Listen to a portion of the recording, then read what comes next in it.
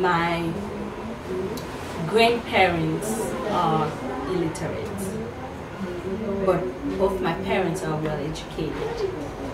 So I'm not from a family where everybody's so well educated, but everybody love education.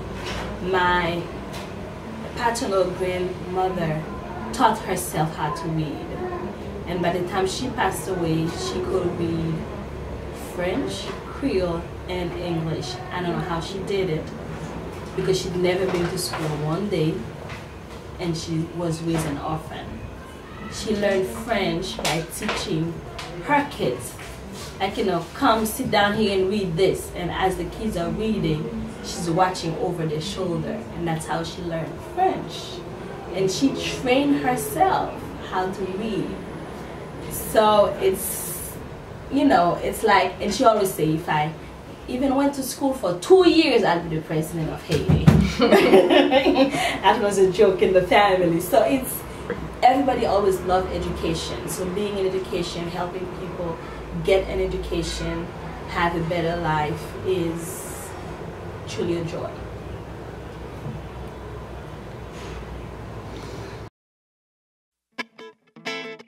I'm so glad I asked Junie that question.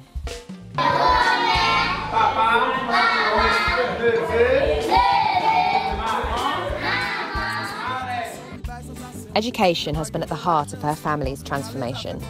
Within a generation, they are not only educated, but they have become a family of educators. Junie, our programme director and founder of to Moon, our partner in Haiti, describes the willingness that transformed her family.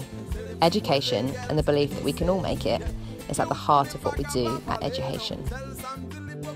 Our organisation began in 2010 when I met fellow international Emma Walsh and Junie Bertrand in Haiti. Emma and I were assisting after the earthquake, and Junie, born and bred in Port-au-Prince, had been working as a local educator for nearly 20 years. Junie, her family, and the community they had been supporting, along with many in Haiti, were deeply impacted by the earthquake.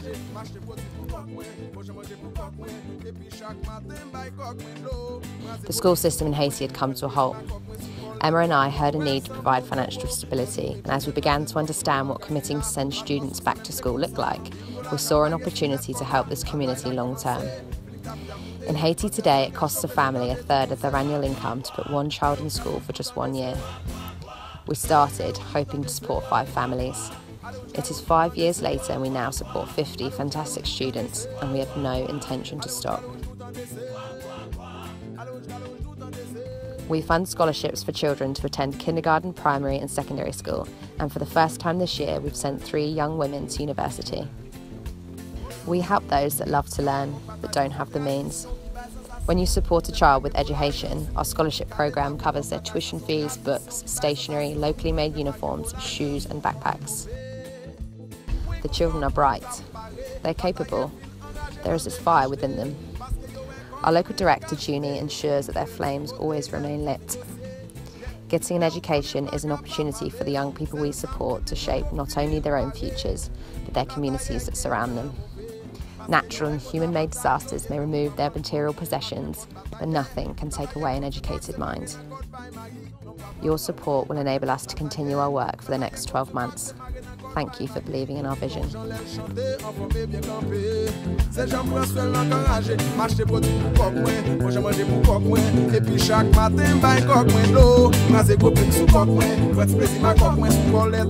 Mwen semblon to wo Yon jou mi chou set nan tet kok Mwen malan gage ya Matran sou